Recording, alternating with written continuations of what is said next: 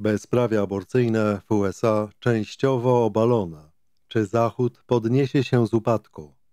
Szanowni Państwo, Sąd Najwyższy USA uchylił wyrok z 1973 stwierdzający, że prawo do aborcji wynika z Konstytucji USA. Konstytucja uchwalona w 1787 roku nic oczywiście o aborcji nie mówiła, ale nie stanowiło to dla proaborcyjnych sędziów problemu. Efektem wyroku z 1973 roku była legalizacja aborcji na całym terytorium Stanów Zjednoczonych. Aborcja, jak zaraza, rozlała się po całym kraju, a w jej wyniku życie straciło co najmniej 60 milionów małych Amerykanów. Wielokrotnie więcej zostało zabitych przez pigułki poronne.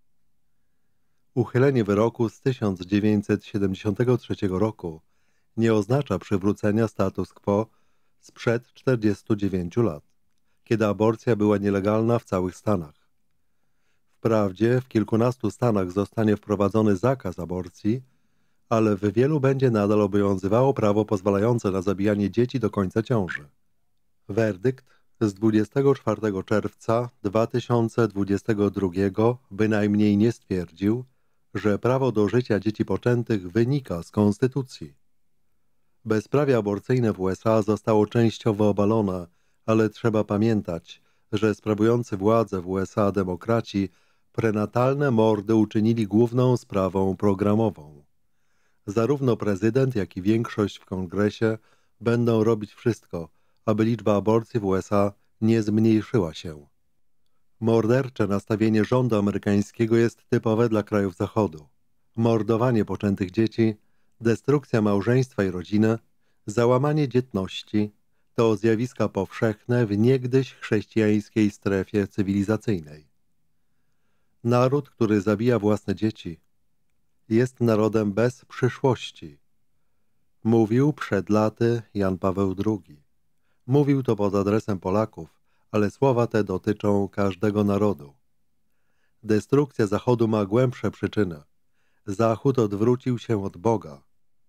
Zobaczymy to podczas warszawskiej parady LGBTQI+, kiedy przedstawiciele ambasad i wszechświatowych korporacji będą wspólnie z satanistami szydzić z chrześcijan i domagać się upowszechnienia aborcji.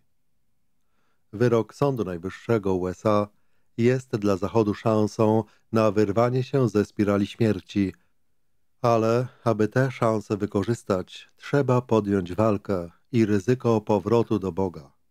Polska ma do odegrania istotną rolę w tej walce, ale małoduszność polskich elit, małpujących najgorsze wzorce Zachodu, nie nastraja optymistycznie. Nie traćmy jednak nadziei bo Pan Bóg wielokrotnie w historii interweniował w sytuacjach beznadziejnych. Wystarczała mu garstka wiernych, którzy gotowi byli mu służyć, nie bacząc na prześladowania. Oby w Polsce tacy ludzie się znaleźli. Serdecznie Państwa pozdrawiam.